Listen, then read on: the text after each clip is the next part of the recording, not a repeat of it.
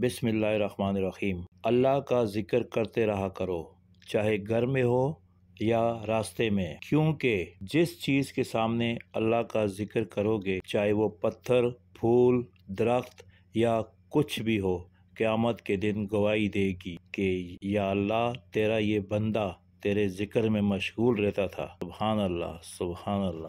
اللہ تعالیٰ مجھ سمیت میرے تمام دوستوں کو ذکر کرنے کی توفیق عطا فرمائے۔ آمین سب آمین۔